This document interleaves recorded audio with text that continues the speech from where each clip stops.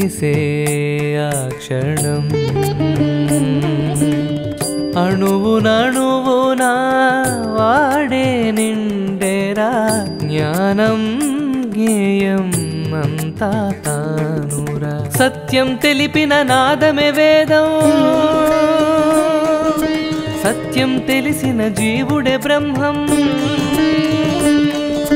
సత్యం తెలి తెలిపిన నాదమే వేదం సత్యం తెలిసిన జీవుడే బ్రహ్మం ఆర్ష సూఫీ వేదాంత సారం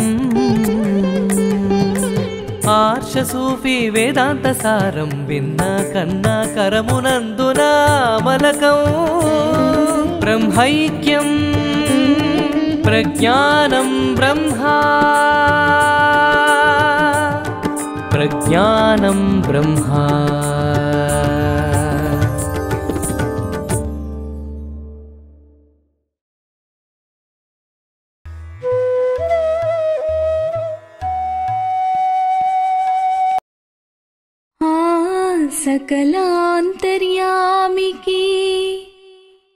भासुरत्रैलोक्यजीवपालनखनिकिन् वासवहृदय विहारिकिन्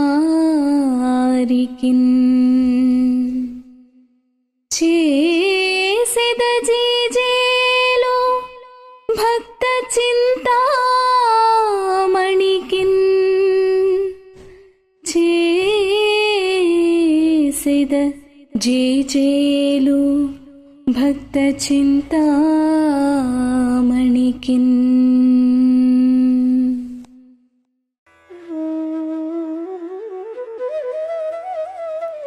తత్వ జిజ్ఞాస తత్వ జిజ్ఞాసలో ఈనాటి ప్రశ్న ప్రత్యేగాత్మ అంటే ఏమిటి? ఆలోచించండి. సమాధానంతో మళ్ళీ కలుద్దాం.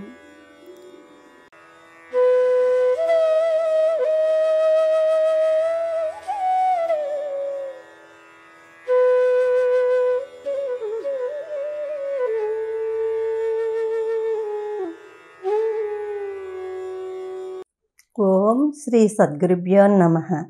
అందరికీ నమస్కారములు. శ్రీ విశ్వ విజ్ఞాన విద్య ఆధ్యాత్మిక పీఠం ఈశ్వర తత్వాన్ని ప్రతిపాదిస్తూ మానవత్వమే ఈశ్వరత్వము అనే తత్వజ్ఞానాన్ని అనుభవపూర్వకంగా తెలియజేసే మహోన్నతమైన పీఠం. ఈ పీఠ షష్టమ పీఠాధిపతి కవిశేఖర డాక్టర్ ఉమర్ ఆలీషా గారు. వీరు అనేక గ్రంథాలను రచించినారు.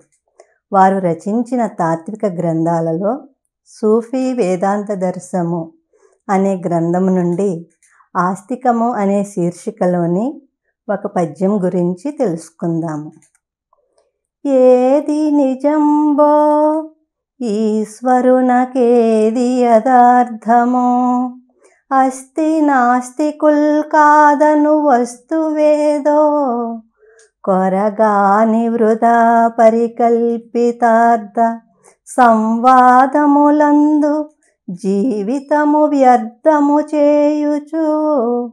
శూన్యమైన ఈ మేదిని వీడిపోదురు ఉపమింపరు ఈశ్వర రూపమన్నిటన్.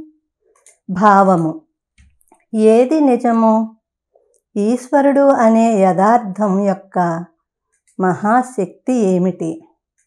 ఆస్తికులు నాస్తికులు అవును కాదు అనే వస్తువేది?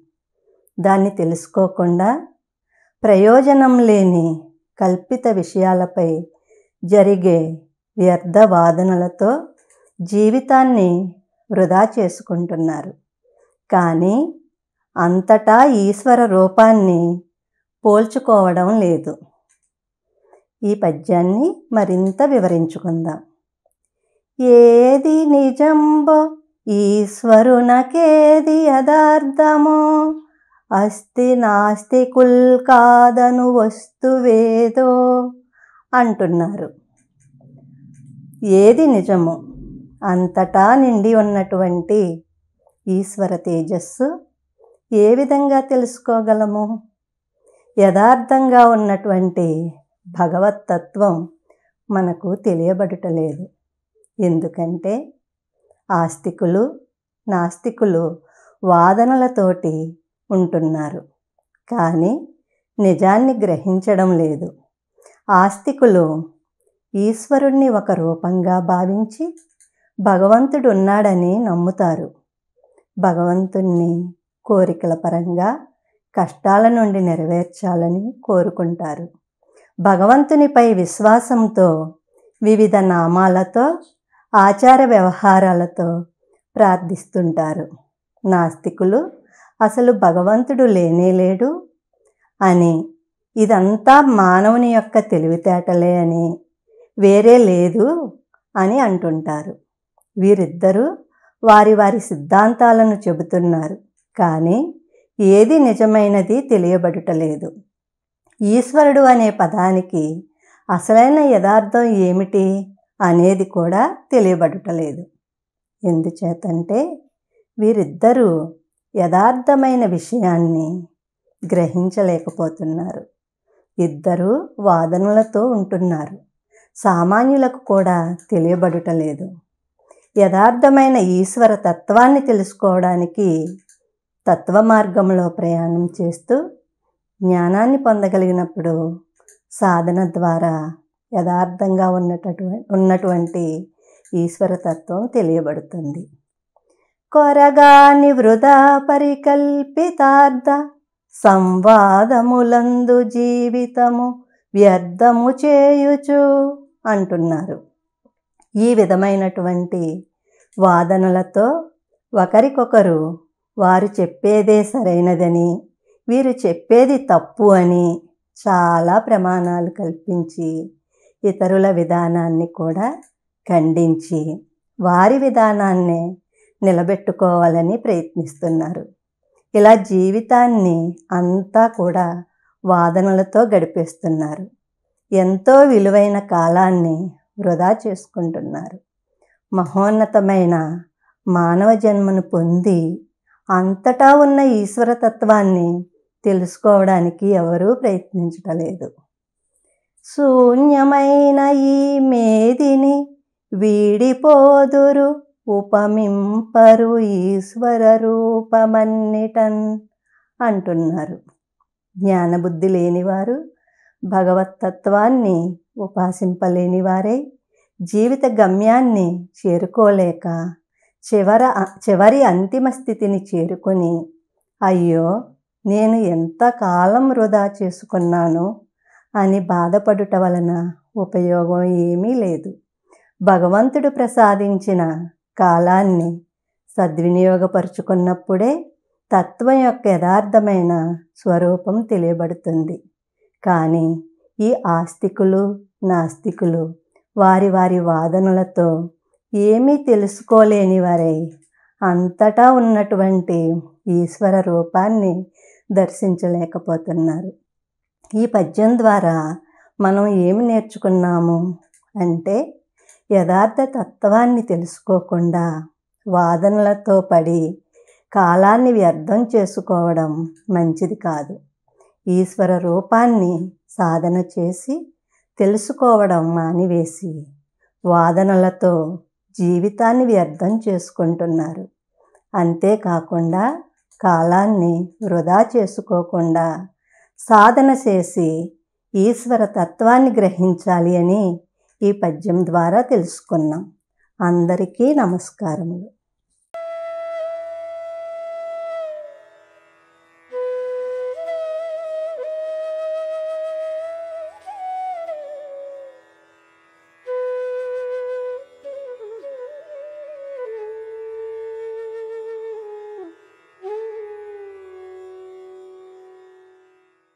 శ్రీ సద్గురుభ్యో నమ. అందరికీ నమస్కారం. శ్రీ విశ్వ విజ్ఞాన విద్య ఆధ్యాత్మిక పీఠం ఈశ్వర ఏకత్వాన్ని ప్రతిపాదించే మహోన్నతమైన పీఠం. ఈ పీఠం భేదభావాలకు తారతమ్యాలకు అతీతంగా మానవత్వమే ఈశ్వరత్వమని ప్రబోధిస్తూ ఆధ్యాత్మిక తత్వాన్ని సర్వమానవాళికి తెలియజేస్తున్న ఉత్కృష్టమైన పీఠం. ఈ పీఠం షష్ఠ పీఠాధిపతులు ఉమర్ ఆలీషా సద్గురువర్యులు మహాకవి. వారు సూఫీ ఆర్ష సిద్ధాంతాలను సమన్వయిస్తూ సూఫీ వేదాంత దర్శము అనే గ్రంథాన్ని రచించారు. ఇందులో ఆస్తికము అనే శీర్షికలో ఆస్తికుల గురించి నాస్తికుల గురించి వారి వాదనల గురించి చెబుతూ యథార్థాన్ని తెలుసుకున్న వారికి వాదమే ఉండదని ఒక చక్కని పద్యం ద్వారా తెలియజేశారు. ఇప్పుడు ఆ పద్యాన్ని తెలుసుకుందాం.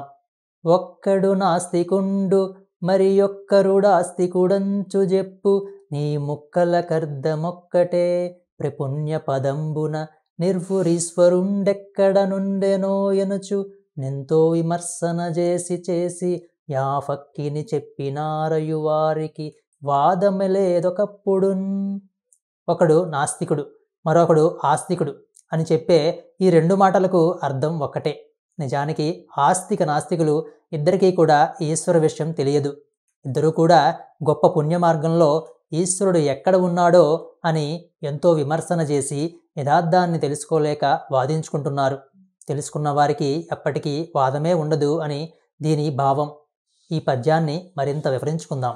ముందుగా ఒక్కడు నాస్తికుండు మరి ఒక్కరుడు ఆస్తికుడంచు చెప్పు నీ ముక్కల కర్తమొక్కటే అంటున్నారు.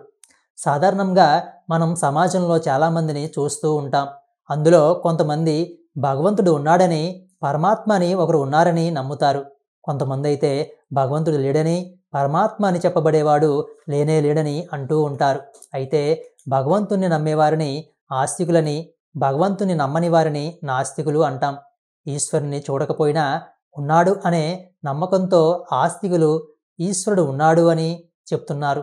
అలా భావించి తమ తమ పద్ధతులను అనుసరించి వారు దేనినైతే ఈశ్వరుడిగా విశ్వసించారో దాన్ని ప్రార్థిస్తూ పూజలు చేస్తూ కోరికలు కోరుకుంటూ దానికోసం ప్రార్థనలు చేస్తూ కాలం గడుపుతున్నారు. ఈశ్వరుడు ఉన్నాడు అని నమ్మకం ఉంది కానీ దాని గురించి తెలుసుకోవడానికి మాత్రం ప్రయత్నించడం లేదు. వీరు ఈశ్వరుడంటే ఫలానా చోటులో ఉంటాడని ఫలానా రూపంతో ఉంటాడని అంటూ ఉంటారు. ఈశ్వరుడు లేడు అని ఎవరైనా అంటే దాన్ని ఏమాత్రము ఒప్పుకోకుండా వారిని ఖండించడానికి ప్రయత్నిస్తూ ఉంటారు. ఇక నాస్తికుల విషయానికి వస్తే ఈశ్వరుడు కనిపించకపోవడం వల్ల నమ్మకపోవడం వల్ల ఈశ్వరుడు లేడు అని నాస్తికులు చెప్తున్నారు. వీరు ఈశ్వరుడు అనే విషయాన్ని మానవులే సృష్టించారే కానీ వాస్తవానికి ఈశ్వరుడు ఎవడూ లేడని భావిస్తూ ఉంటారు. ఈశ్వరుడు ఉన్నాడు అని ఎవరైనా అంటే దాన్ని ఏమాత్రము ఒప్పుకోకుండా వీరు కూడా వారిని ఖండించడానికి ప్రయత్నిస్తూ ఉన్నారు. కాబట్టి ఇతరులతో వాదన వచ్చినప్పుడు ఎదుటివారికి తమ సిద్ధాంతాలను సరిగ్గా చెప్పి ఎదుటివారిని ఏదోలా ఒప్పించి తమ సిద్ధాంతాలను ప్రబలం చేసుకోవాలని ఇద్దరూ భావిస్తారు. ఆస్తికులు ఇలాగే అలాగే ఆలోచిస్తున్నారు. నాస్తికులు అలాగే ఆలోచిస్తున్నారు. దానికోసం వారు ఎన్నో విషయాలను చెబుతూ ఉంటారు. అంతేకాని మేము ఆలోచిస్తున్న దానికి మించి ఏదైనా ఉందా అని మాత్రం ప్రశ్నించుకోవడం లేదు. అందుకనే యథార్థ తత్వాన్ని తెలుసుకోలేకపోతున్నారు. అలాంటప్పుడు ఇంకా వాడు ఆస్తికుడైతే ఏంటి? నాస్తికుడైతే ఏంటి? యథార్థ జ్ఞానాన్ని పొందినప్పుడు ఎవడైతే ఏంటి? అందరూ ఒక్కటే. అందుకనే ఒకడు నాస్తికుడు ఒకడు ఆస్తికుడు అని చెప్పినా కానీ ఈ చెప్పే రెండు మాటలకు ఒకటే అర్థం. ఎవరూ తత్వాన్ని సరిగా అర్థం చేసుకోలేకపోయారు అని అర్థమవుతుంది. కానీ ఇద్దరూ కూడా ప్రయత్నిస్తున్నారు. ఈశ్వరుడు ఎక్కడ ఉన్నాడో తెలుసుకుందామని ఇద్దరూ గొప్ప గొప్ప మార్గాలను అనుసరించి వెతుకుతున్నారు. ఇక్కడ కూడా ఆస్తికులేమో ఈశ్వరుడు ఉన్నాడని నిరూపించాలని నాస్తికుడేమో ఈశ్వరుడు లేడని నిరూపించడం కోసం చాలా పరితపిస్తున్నారు. అందువలనే తరువాత ప్రపుణ్యపదంబున ఇర్వురు ఈశ్వరుడెక్కడ ఉండెనో అనుచు ఎంతో విమర్శన చేసి చేసి ఆ ఫక్కిని చెప్పినారు అన్నారు. చాలా పుణ్యప్రదమైన మార్గాల్లో గొప్ప మార్గాల్లో ఈశ్వరుడు ఎక్కడ ఉన్నాడో ఏంటో అంటూ వెతుకుతున్నారు. దానికోసం ఎన్నో గ్రంథాలను చదివి ఉండవచ్చు ఎంతోమందిని కలిసి ఉండవచ్చు. ఎన్నో విషయాలను తెలుసుకుని ఉండవచ్చు. కానీ మళ్ళీ ఈశ్వరుడు ఎక్కడ ఉన్నాడో ఏంటో అంటూ వాదనల్లో తమ పక్షాన్ని బలంగా నిరూపించడం కోసం వారి వారి సిద్ధాంతాలను ఆయా విధాలుగా చెప్పారు. వారి వారి ఆలోచనలను అనుసరించి వారి భావాలకు అనుగుణంగా వారి వారి సిద్ధాంతాలను ప్రతిపాదించుకున్నారు. నువ్వా అంటే నేనా అన్నంత విధంగా ఆస్తిక నాస్తికులు ఇద్దరూ కూడా వాదించుకుంటూ ఉంటున్నారు. ఆ వాదనల్లో పడి ఏదోలా తమ పద్ధతులను గొప్పవిగా చిత్రీకరించాలని దానికోసమే జీవితమంతా శ్రమిస్తున్నారు కానీ యథార్థ జ్ఞానాన్ని పొందడానికి ప్రయత్నించడం లేదు. అలా ఆస్తిక నాస్తికులు చేసుకునే వాదాల్లో పడకుండా ఎవరైతే యథార్థ జ్ఞానాన్ని పొందుతారో వారికి ఎటువంటి వాదము ఉండదు. ఆ విషయాన్ని తరువాత ఇలా చెప్పారు. అరయువారికి వాదమలేదొకప్పుడు అని. నిజంగా యథార్థ తత్వాన్ని అనుభవంలో పొందిన వారికి ఎవ్వరితోనూ ఏ విషయంలోనూ వాదననేదే ఉండదు. దాని ప్రసక్తి కూడా ఉండదు. మరి ఆ యథార్థ జ్ఞానాన్ని పొందడం ఎలా అంటే ముందు వాదాన్ని విడిచిపెట్టాలి. తన మతమే గొప్పది అనే అహంకారాన్ని వదిలేయాలి. నేను నాది నేనే గొప్ప నాదే గొప్పది మొదలైన ఆలోచనలను విడిచిపెట్టి తత్వజ్ఞానాన్ని పొందుతూ సాధన చేస్తూ నిరంతరం ఆత్మ జిజ్ఞాసతో మనస్సును పరిశుద్ధం ఉంచుకుంటూ ఉన్నట్లయితే తప్పక ఆ యథార్థ జ్ఞానాన్ని అనుభవంలో పొందవచ్చు.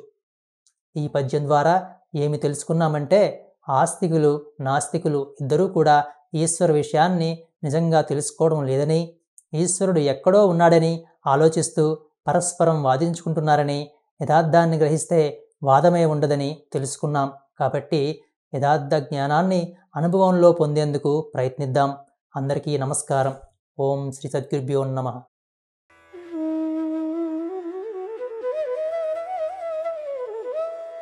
ప్రత్యేగాత్మ అంటే ఏమిటి? ఆలోచించారా? సమాధానం ఏమిటో ఒకసారి చూద్దామా? ప్రత్యేగాత్మ అంటే జీవాత్మ. ఈనాటి ఈ సదస్సుకు సహాయ సహకారములు అందజేసినటువంటి వారు శ్రీ సత్య భోగరాజు గారు శ్రీమతి రమ్యసుధ దంపతులు కుమార్తె పూజిత అన్నపూర్ణ గారు కుమారుడు మోహిత్ కృష్ణ సంతోష్ గారు గోరఖ్పూర్ ఉత్తరప్రదేశ్ నుండి వారికి వారి కుటుంబ సభ్యులకు స్వామివారి దివ్య ఆశీస్సులు సదా లభించుగాక.